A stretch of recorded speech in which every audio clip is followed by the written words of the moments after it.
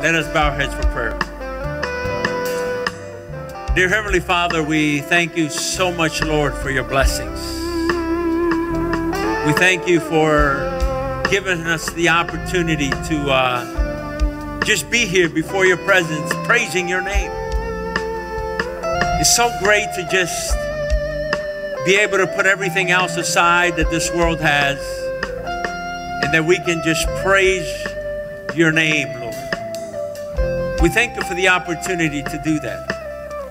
And now as we as we go into your word, we ask that you may bless us, that your Holy Spirit may continue with us as you have shown in the praise and worship. That as I present your word today, it may be your word that your Holy Spirit may work in the hearts of everyone here.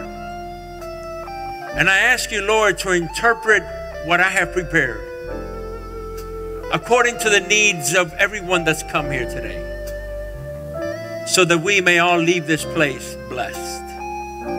We thank you in the name of Jesus. Amen.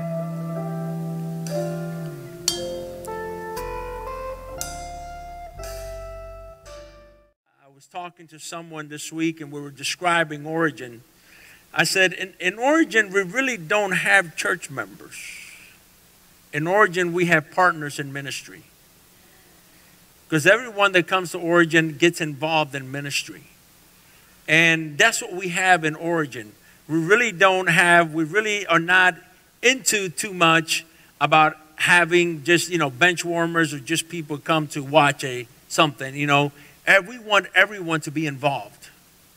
And, and the gifts that are at the church are there to be, to be put on, or they're there to be exercised, and are there to, to carry out. I, I really believe uh, if someone, maybe some of you new here today, or people that are just joining our church, I really believe that each one of you here today has a calling from God.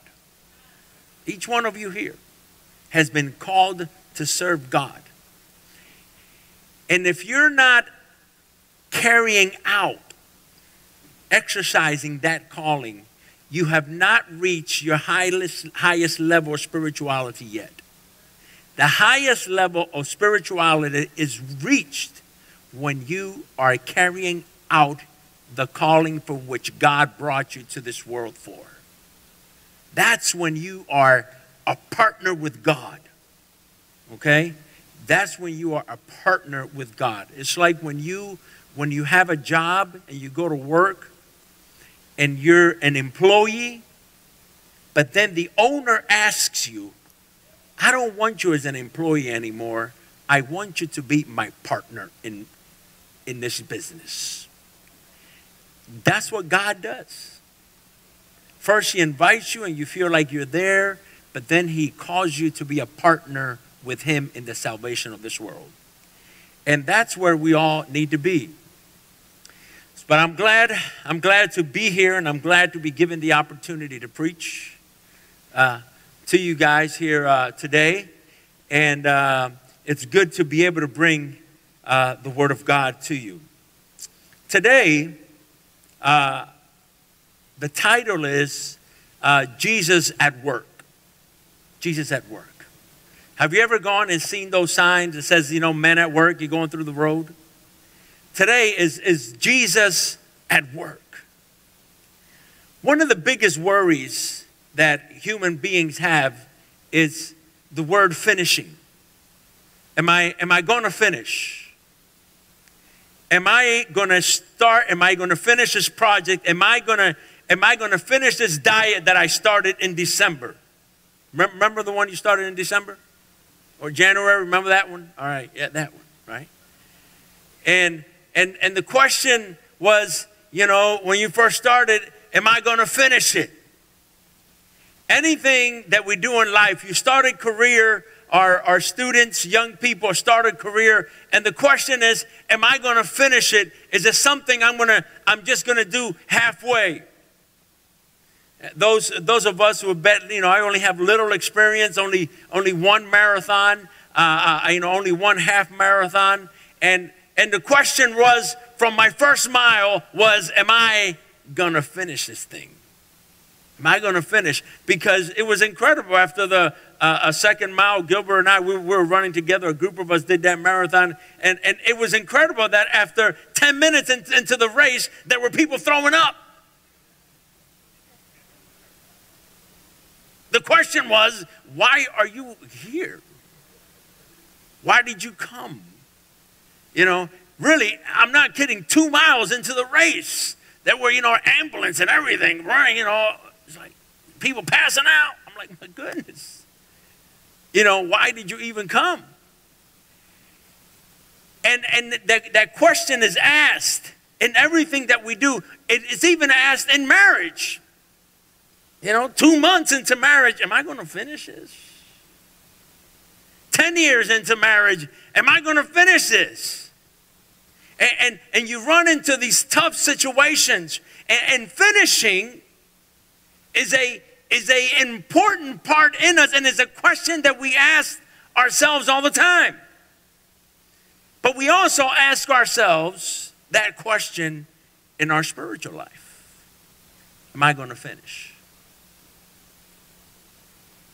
Am I going to go to church all this time, uh, abandon the things that I've had, and at the end, not even make it to heaven? Am I going to finish? Am I going to reach heaven? Am I going to reach eternal life?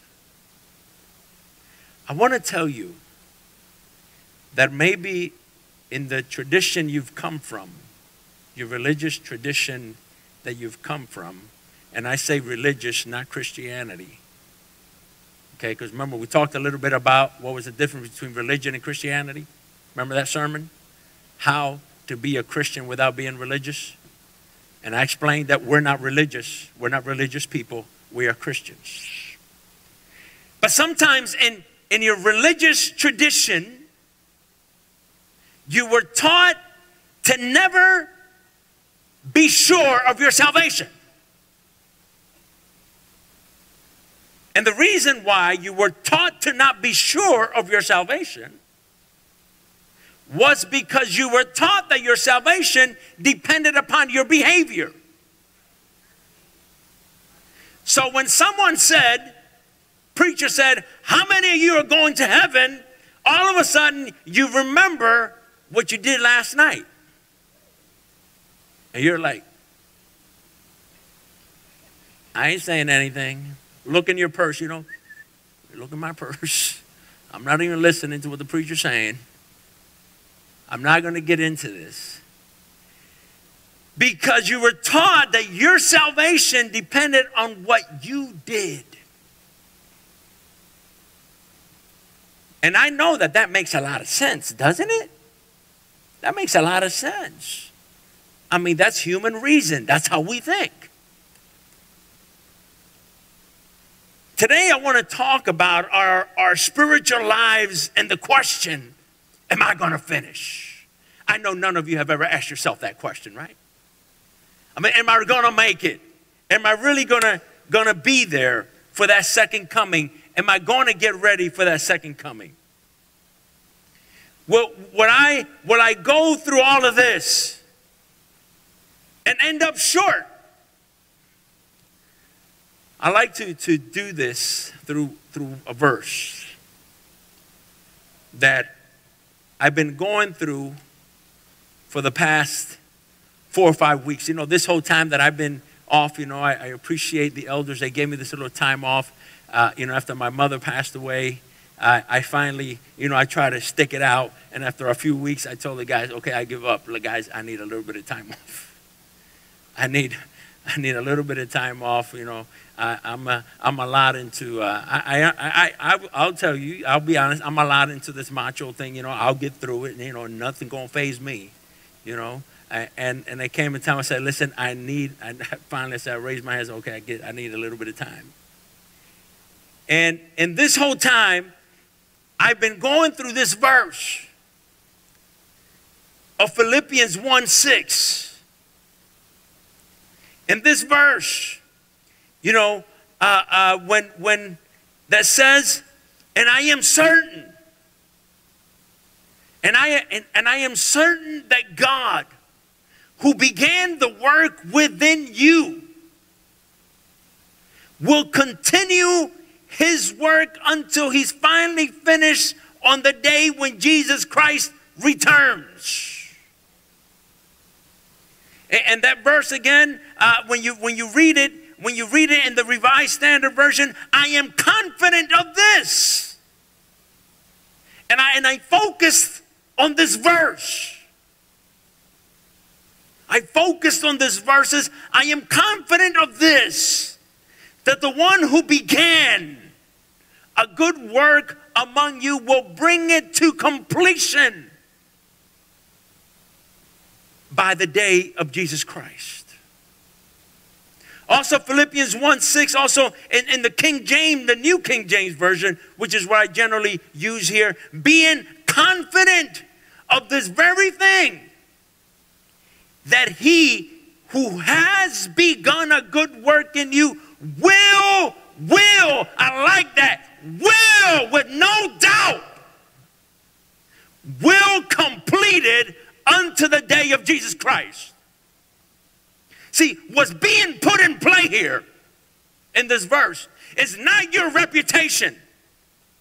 What's being put in place here is the reputation of Jesus Christ. It's saying he begun a good work in you and he will finish it. It's like you and I not even involved. Your reputation and my reputation are not the one in question here. What's in question here is the reputation of Jesus Christ. In other words, does Jesus finish? Does he finish? Does he finish what he starts? Is he successful? Or does Jesus just leave things hanging halfway? That's the question here.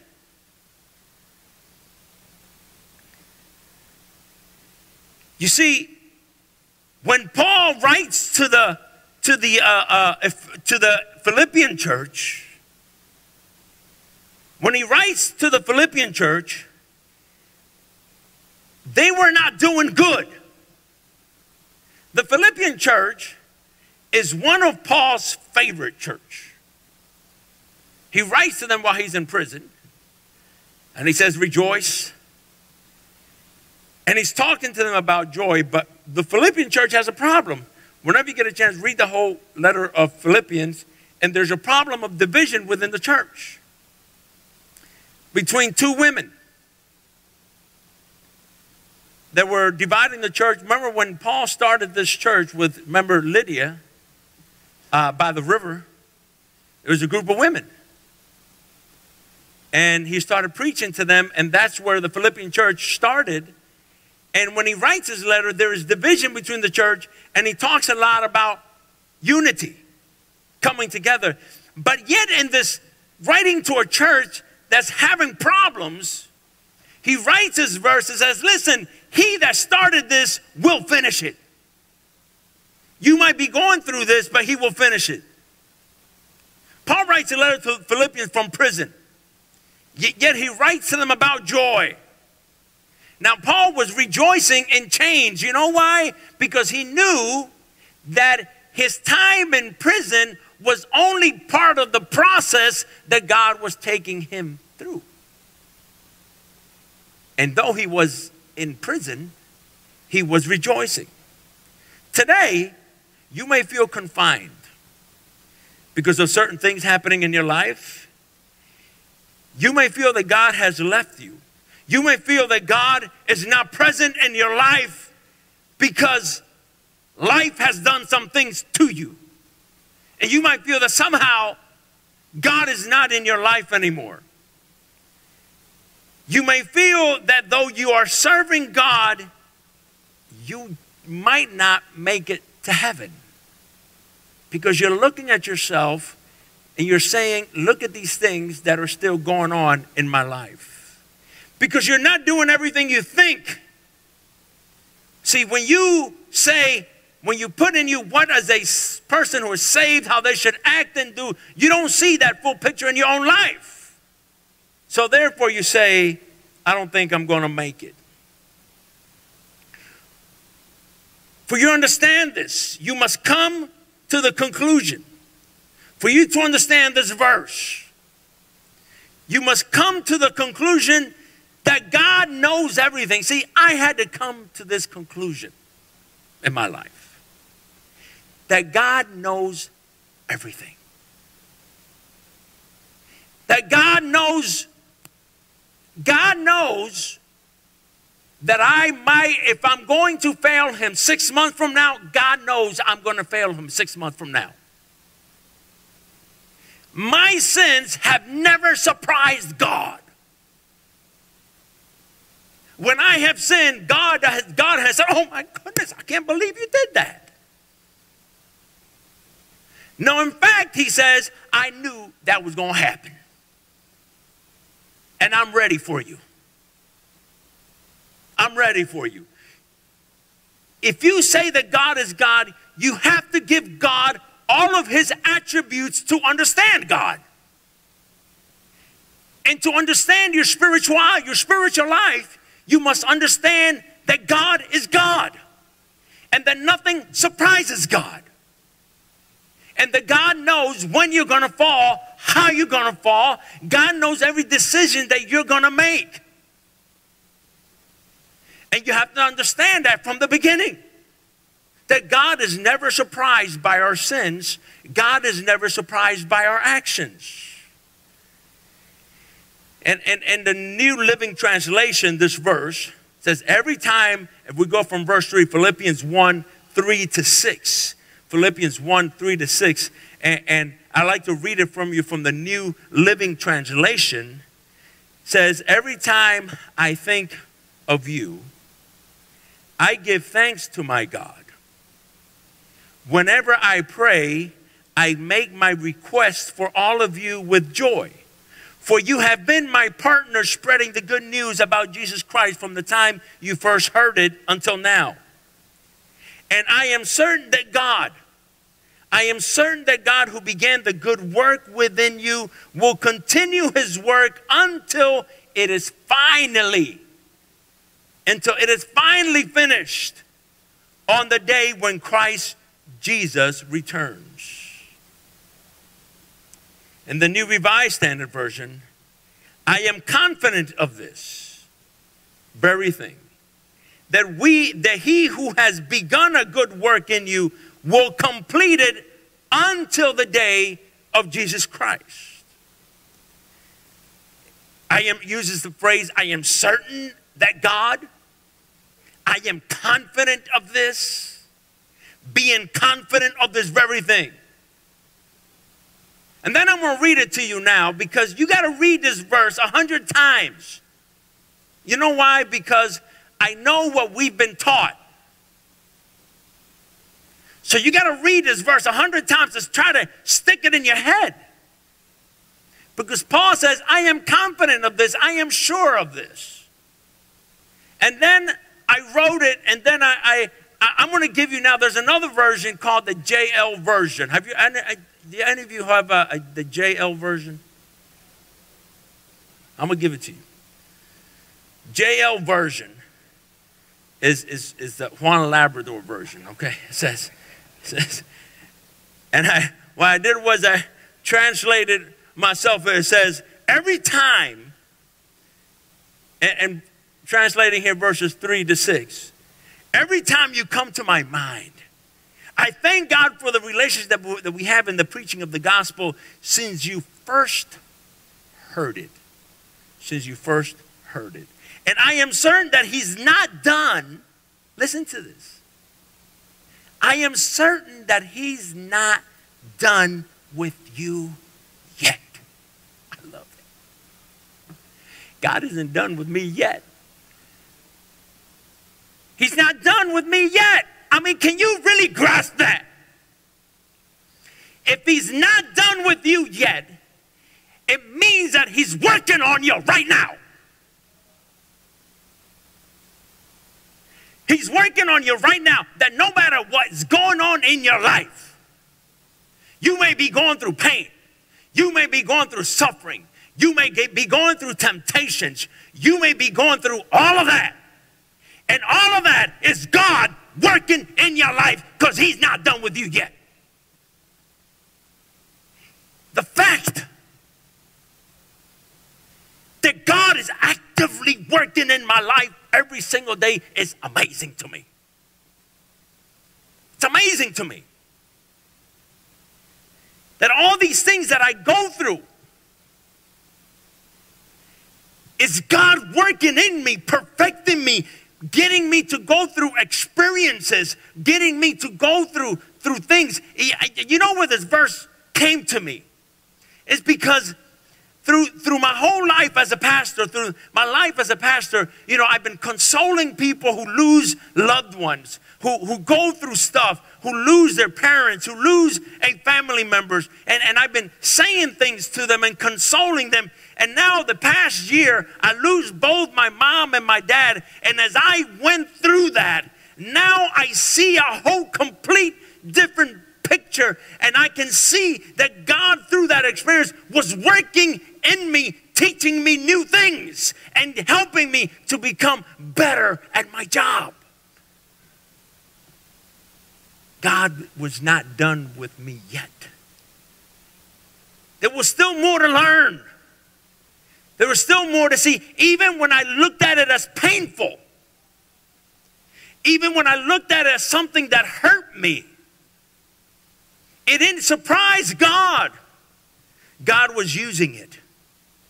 Paul is telling them and us the following it was Jesus who started the work in them. People, it is Jesus who starts the work in you. It wasn't you. It's Jesus who starts the work within us. Does Jesus finish? or is Jesus the kind of person who gives up halfway? Paul says, listen, he who started the work in you will finish it. Because Jesus is the one working in them. He's letting them know Jesus is working in you. And today, I want to give you that assurance that Jesus is working in you. He is involved in your life. He is involved in you in your failures. He is involved in you and your temptations when he sees you being tempted. Jesus is involved in everything that goes on in your life. He is involved when you fall. He is involved when you get up. He is involved in your pain. He is involved in your crying. He is involved in your everything that you go through. Jesus is involved. Sometimes people think that the devil is more involved in their life than Jesus.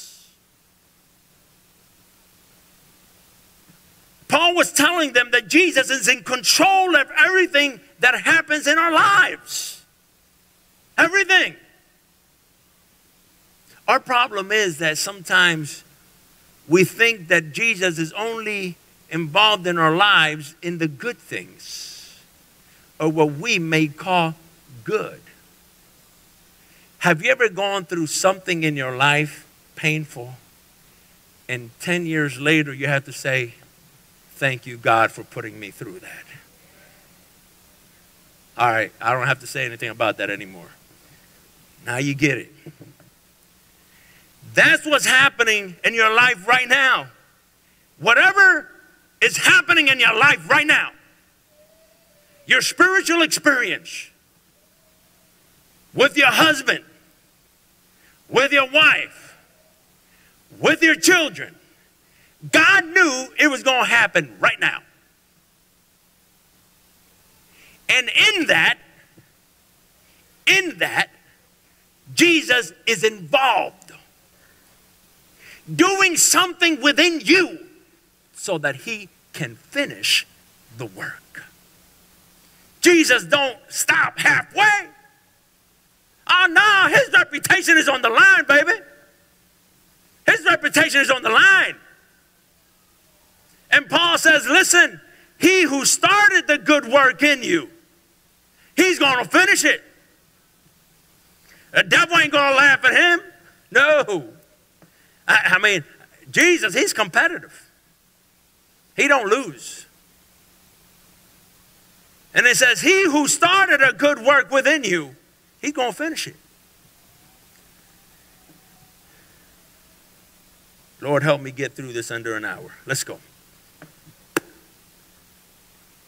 This is the great, this, this, this is amazing good news to me. Isn't, it isn't that good news to you? Because that question, am I going to finish? Am I going to finish? Am I going to do right? Am I going to? Paul says, no, it's not about you. It's about Jesus finishing. And he started a work in you, and he's going to finish it. The only way you can argue that against me is by using human common sense, not biblical sense. well, yeah, but you know, but it all, it all depends. You know, if Jesus, you know, I, you know, you know, because you know, I, you do got to do right. You know what I mean? You, just can't. I, I, that argument is going to come. It's not biblical, but it's human argument. The hardest thing for us as Christians to understand is that Jesus is going to save you. That if you put him yourself in his hands, he is going to save you. You see, because you accept Christ as your Savior, it doesn't mean that He's done. It just says that now He can work on you. Here's how sometimes we understand salvation. Sometimes we understand salvation in, in this way Jesus came, He died for me, He paid for my sins, He paid, He was, uh, he was punished instead of me. He died my death. He resurrected and he's in heaven. And he's already forgiven me and he's already given me salvation.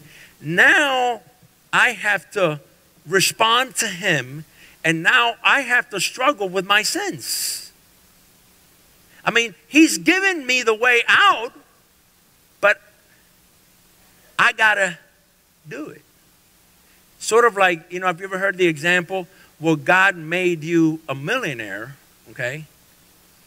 And God tells you, listen, you're a millionaire and the money's in the bank.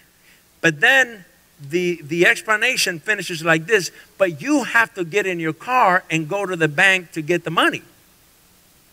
What this verse is saying, that Jesus saying, I made you a millionaire. I'm going to go to your house. I'm going to pick you up in my car and I'm going to take you to the bank. That's the difference. And I'm going to take you to the bank because you don't even have a car to get there. And sometimes we say salvation is there, and we find that struggle of reaching it and getting to it it says that, that Jesus will work that out in your life. He will work in you. Listen, people, this changes our perspective on everything bad that happens to our lives. This changes our perspectives. When you lose your job because it's not your fault, this changes your perspectives because when that happens and you know that it's not your fault because you lost your job, you know and you understand that it's Jesus working in you. And you can say, okay, Jesus, so what's my lesson today? It changes your perspective that no matter what happens to you and whatever comes your way, God is working in you and He's making you stronger. He's strengthening your character. He's helping you to see Him in a different way. He is helping you to grow because He is working your salvation out in you. I remember when I bought my house. You guys remember that? A lot of you were here. You guys are the biggest liars I've ever seen in my life. I took you over there to see my house. The place was, it was a wreck. And y'all, y'all came out, oh, Pastor, this is a nice house, Pastor. It looks good. It looks good, Pastor. Then you got in your cars, you know. Pastor's crazy. That house, my, I, I can't believe he did that. You know?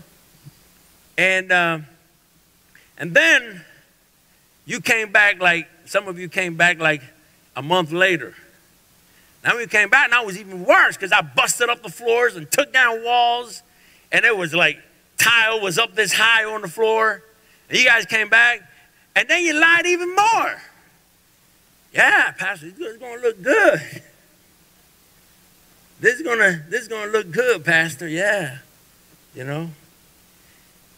But you see, when you came to see it the first time, I hadn't bought it yet. You see, I couldn't start working on it till I bought it. I couldn't start working on my house till I bought it, till I made it mine. I don't know if you get where I'm coming from. You see, Jesus bought us so he could work on us. And sometimes when Jesus begins to work on us, for a while, we're going to look worse before we get better. because he starts messing around. He starts tearing some walls down. He starts tearing some floors out. And you begin to go through pain and you begin going through suffering. And the whole time you're giving the devil the glory. This devil's tearing me apart, Pastor. The devil don't sleep. You know, and the devil's like, yo, I didn't do anything. Why do I get all the blame? And the whole time is Jesus working on you. See, when you understand that, that he who started a good work in you is faithful to finish it. See, that explains a process to me that Jesus begins here and he continues and he continues. He is every day, every day, every day, every day till we finally make it to heaven working on you. And he's working in you through pain. He's working for through things that you like, man, it's devil. The devil Jesus say, it ain't the devil's me. I'm working in you. I need you to change you. I need to change your character. I need to make you better. Do you remember the story of the uh, uh, of the storm where Jesus calms the storm? Remember that? Remember that story, right? And and Mark four, we have that story. And as I was going through that, that story, that boom popped in my mind. It was like automatic, and all of a sudden came to me something. And then I saw that story like like I never seen it before. It says that on the same day, Mark 4, 35 to 41, it says if you have your Bibles, if you have your iPhones, if you have your, your uh, iPads, uh, whatever you have, Mark 4, 35 to 41. And on the same day, when evening had come, he said to them, Let us cross over to the other side. Now, when they had left the multitude, they took him along in the boat and he was as he was, and another other little boats were also with him, and a great windstorm arose, and the waves beat into the boat so that it was already filling. But he was in the stern, asleep on a pillow, and they awoke him and said to him, "Teacher, do you not care?" I mean, I mean, how many times have you said that? Do you not care that I'm perishing? Then he arose and rebuked the winds. And, you know, in another word, in, in another uh, uh, gospel, it says, you know, why, why are you scared? Why you? Because I'm dying. That's why. I mean, I can imagine Peter. I mean, if I was Peter, was on that boat, and Jesus woke up and he said, "So why, hey Juan, why are you scared? Can't you see the waves? I'm dying. We're getting ready to die." But they had forgotten one thing. Let me tell you why they were desperate and screaming. What was, And let me tell you, people, when this hit me, I just, you know, one of those things just fall off your chair. What was the invitation? Who had invited them to get on the boat? Who had invited them? Jesus. And what did he invite them to do? Let us cross over to the other side. If Jesus tells you and he invites you to get to the other side, you're going to get to the other side. He didn't invite them to go halfway and drown. He invited them to get to the other side. If Jesus invites you to get to the other side, you're going to get to the other side. You're going to get to the other side. See, Jesus has invited you and I to have everlasting life with Him. That's His invitation to us. And He is working salvation out in you, and He will continue to work it through pain, through suffering, through whatever you go through in this world, He's going to save you. He's going to save you. And I know some of you, this sounds blasphemous. Say, Pastor, are you trying to say that, that, that God is going to force you? Let me tell you something. What I'm saying is that when you enter into His love, when you accept His invitation, when you accept that invitation, is you giving Jesus permission to work in your life and to work out that salvation in your life. Oh, people, this is uh, that to me. It, it, it's just powerful when I, when I see that. You know, I finally see there's some hope for me. You know, you know, there is hope for me. The desperation came because they forgot the, what the invitation was. Let us go over to the other side. In other words, Jesus saying, Peter, I told you we're getting to the other side. There might be some storms. You're going to see some waves going through. All this going on. But you got it. My invitation was to get to the other side, not to drown halfway through. Now, the method that he may use on you may depend a little bit on you. Because Jesus, you know, he, he, he's nice. But he needs to finish. You understand? He's going to finish. One way or another, he's going to finish. He might be dragging you through the line by the hair, but he's going to finish. He's not going to fail. He might put his arm around you and say, Come on, walk with me. And some may say, Jesus, I'm going to walk with you. But some may start, you know, like pulling back. And he just might have to smack you around a little bit. But he's going to finish. He's going to finish. And sometimes we have to go through more than other things, but God is working on you. He's working out his salvation on you. And I want you today, no matter what you're going through in your life, what you're going through in your, in, in your life, there's this, there's a little song, there's this little song. I know Jasmine say, uh-oh, uh-oh, there's a little song. Remember that little children's song? He's still working on me to make me what I ought to be. He took him just a week to make the moon and the stars, the sun and the earth, and Jupiter and Mars. How loving and patient he must be, because he's still working on me. I like that, huh? That's a song. He's still working on me. Huh? And then, and then, hold up, hold up. There's another chorus to that. There's another chorus to.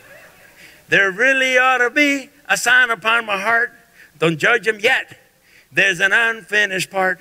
But I'll be better just according to the plan fashioned by the master's loving hand. He's still working on me. Huh?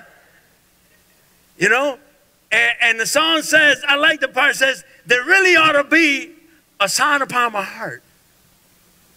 There ought to be a sign upon my heart that no matter what I'm going through in my life, it says, Jesus is at work. It might look like a mess, But you know why it's a mess? Because Jesus is rebuilding it. Jesus is at work. And in our hearts, we might have, we might have to have that. And I want to, uh, uh, in, in, reality, we, we, need to, to, to, to see this. And, and this is when, when another part of the Bible comes alive. And I'm going to finish off with this. I promise. Listen, we got lunch for you guys, all right? So don't worry about it. If we, if I pay for lunch for you guys, then you got to listen to me, okay? Everything has a price. Now, Romans 8. Romans 8, 28. Romans 8, 28. If you have it on your phones, whatever, and this is this is going, and, and all of a sudden, this had a whole new meaning to me. When I when I read these these verses, listen, and we know that all things, how, how many? Three things? Do you get that all? I mean, after this, what we've been going through, now you understand what that all means. It doesn't mean just the good things. All means what? All. All things. And we know that all things work together for the good of those who love God. To those who are the called according to, oh, according to his what? His purpose. Jesus has a purpose, and that purpose is to save you. And Jesus finishes. Jesus don't give up. From whom he foreknew, he also predestined. Oh, that's a, that's a dangerous word. To be conformed to the image of his son, that he might be the firstborn among many brethren. Verse 30. Moreover, whom he predestined, these also he also called. Whom he called, did God call you? You know why you're here today? Because he called you. I'm trying to say that you in you you in that. He's working on you. You accepted his call. Whom he called, these he also justified. And whom he justifies, he also glorified. Because see, glorified is the finishing part of salvation. And it don't say you, it says he glorified. For then shall we say to these things. Now listen to this part. According to what we just been preaching the past 10 minutes, okay? If God is for us, who can be what? Against us. He who did not spare his own son, but delivered him up for us all, how shall he not with him also freely give us all things? Who shall bring a charge? Who shall bring a charge against God's elect? I love that question. In other words, if you have made Jesus your Savior, Paul says, who's going to bring a charge against you? It is God who justifies. Who is he who condemns? It is Christ who died and furthermore is also risen, who is even at the right hand of, of God, who also makes intercession for us. You know, that one that starts and finishes in our lives, who's starting in your life and wants to finish, he is at the right hand of the Father. He's not sitting in some corner. Okay? He's not in another room. Okay? He's been in the most holy place, sitting next to the God from the moment he went up to heaven. That's what the Bible says. And God who justified, who is he who condemns? It is Christ who died and furthermore is also risen, who is even at the right hand of the God who also makes intercession for us. Who shall separate us from the love of Christ? Shall tribulation or distress or persecution or famine or nakedness or pearl or swords?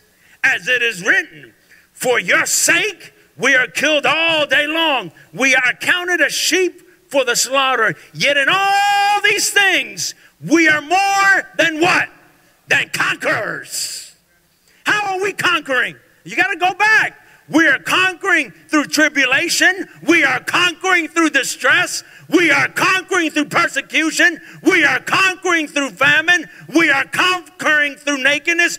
We are conquering through the sword. Through all those things, we are conquering, not failing. We are conquering because Jesus is using all of those things to work in us to give us salvation. Yet in all these things we're more than conquerors through him who loved us. For I am persuaded that neither death, nor life, nor angels, nor principalities, nor powers, nor things present, nor things to come, nor height, nor depth, nor any other created thing shall be able to separate us from the love of God, which is Christ Jesus our Lord.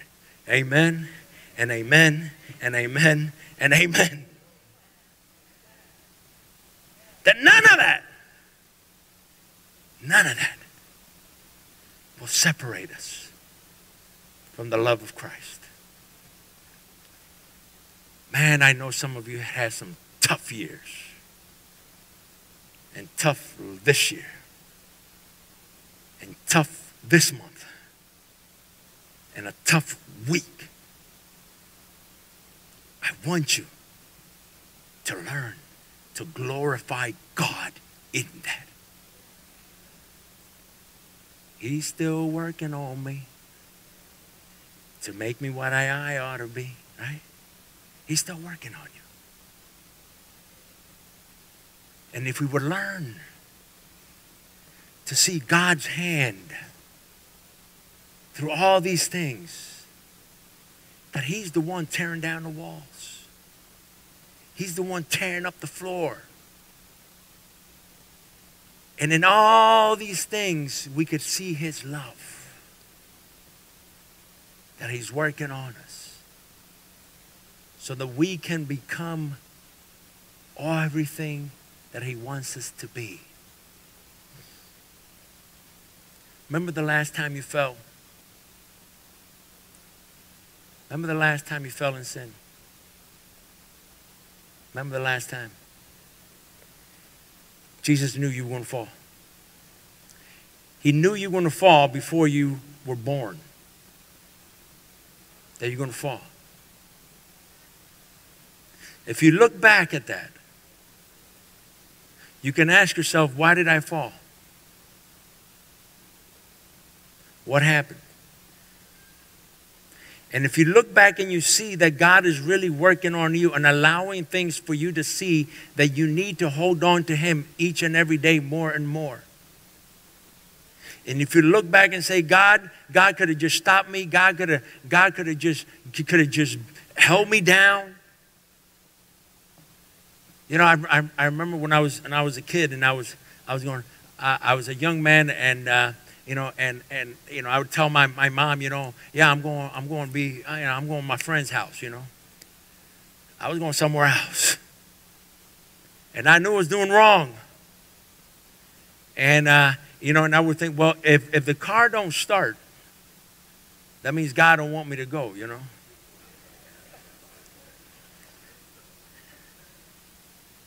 But in reality, could God had made the car to not start? Could he?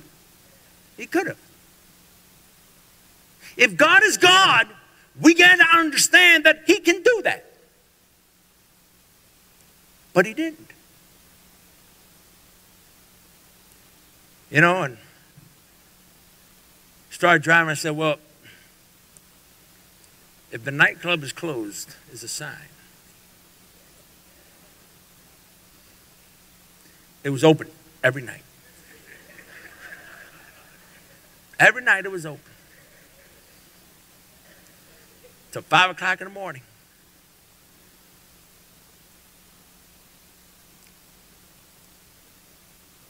Now I look back at that. And I can see how many of those nights things happened that could have finished me off. how many times God protected me while I was doing things that were wrong. Okay? Now, this is interesting. Because I saw how God, and I look back, how many times God protected me while I was sinning. You know, people says, you know, you know, God's angels don't go there. No, they go everywhere. They know what you're doing all the time. You can't hide. If that was true, then I, you can hide from God. God don't go there. Go ahead, let's go over there. No. Because as I look back, I could see how God protected me when I was doing things that were wrong. So he was there. That's interesting, isn't it? Because he who began a good work in you is faithful to the day who will and he will finish it till Jesus comes. And as I look back at whatever God allowed me to go through, now I look back and I can see that everything that I went through in my life has made me who I am today. And I'm not trying to say that we we need to say, hey, I'm doing this bad. Uh, God has let me. I'm going to continue going on. Because just the thought is also means that God is working on you, telling you not to do it. You know what I mean? Because if not, you won't even think about it.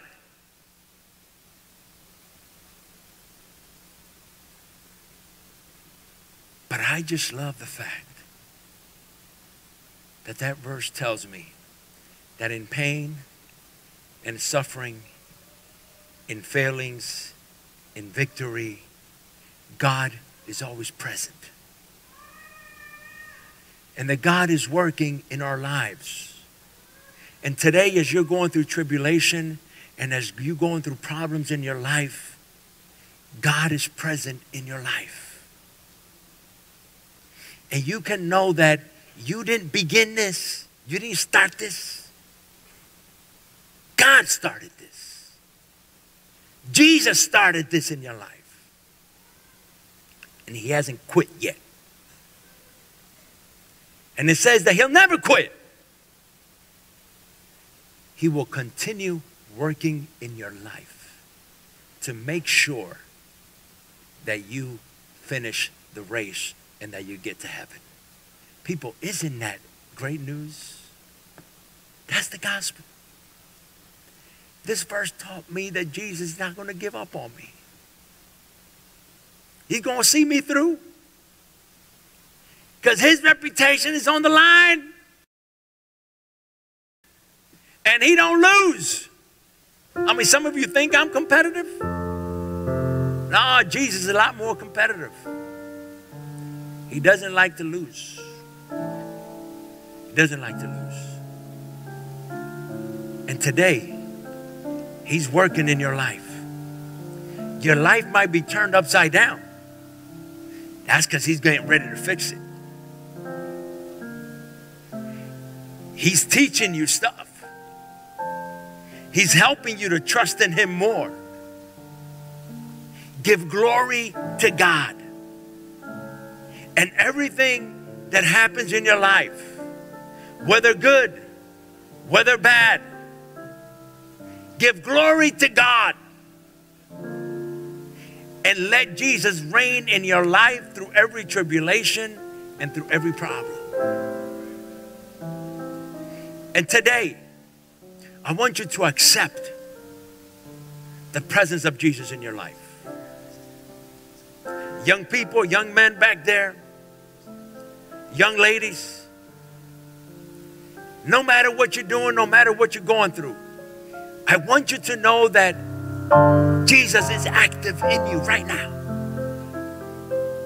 All your doubts, all your tribulations, all of this, it's Jesus active in your life, making you stronger, making you better. Marriages that are going through struggles right now, and you're going through tribulations. It's Jesus working in you, letting you know that you can't do it without Him. He's showing you what happens when you stop praying as a couple. He's showing you what happens when you get so involved in making it financially that you forget Him. He's letting you know what happens. Those of you that are struggling with your own life, and every day you feel like you're captive and that you're just not making it, He's only letting you know what it feels like without trusting in Him for your salvation. He's only letting you know. And maybe one day you'll get tired of that frustration and you just let Him continue working in your life. And thank Him for your struggles. And you thank Him for your problems because He's building character, He's building faith, He's building trust today because you don't know what you're going to face five years from now. That this experience here is going to get you through that. He's still working on you.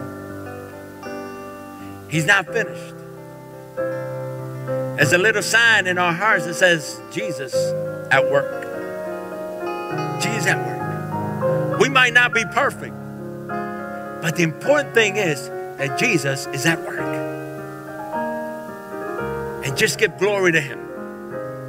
Just give glory to God. So today, I just want you, I, I just, if you feel that in your life today, you know, whatever you're going through, you just want to give glory to God. And you recognize Him as the one working in you. I want you to just, just stand up. You don't have to come up here. I just want you to stand up and, and, and just recognize, recognize God as the creator. Just recognize Him as the one working in your life. And just give Him glory. Give Him glory for whatever you're going through because He is working on you. He's taking the time to work on you. And whatever He started, people, whatever He started, Paul says that He will finish. He won't leave us halfway, He won't leave us hanging. He is faithful to finish it. Oh my God. That is incredible. That's amazing. It's amazing when we as Christians walk through life and, and, we confront this pain. And when the pain hits us and we confront difficulties, we can give glory to God. Says, You working hard today on me. Today you're really working hard. I'm gonna give you the glory. And I thank you for what you're doing. It hurts. But you're doing something. Might doing those power hammers on you, you know? Whatever's going on. But when we take that perspective in life, that God is God, nothing happens without Him allowing it to happen. Nothing. And if He allows it to happen, there's something in it for you and for me. Because He's working on us. Because He wants to finish what He started. So today, I just want you to just uh, just close your eyes. We're going to close your eyes, and we're just going to. Y'all want you to go through your pain, and I want you to give God the glory. Give God the glory and thank Him for working on your life.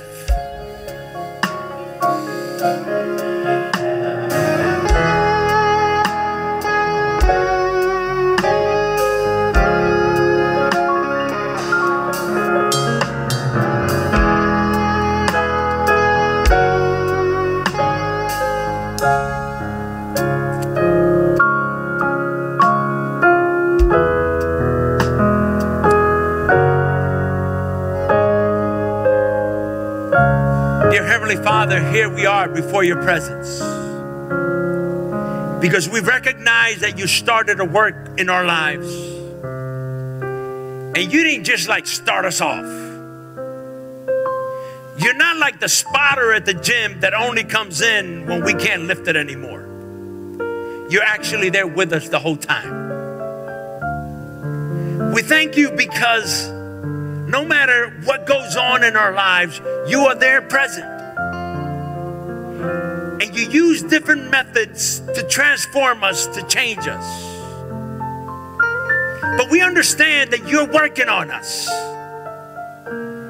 And through every pain, through every difficulty, we give glory to you. The all powerful God who is present everywhere, anywhere, constantly active in our lives, constantly active in our lives. Help us every day to worship you, to recognize you as the giver. Thank you, Lord, for salvation. And thank you for everything that you have given us. In the name of Jesus, we pray. Amen.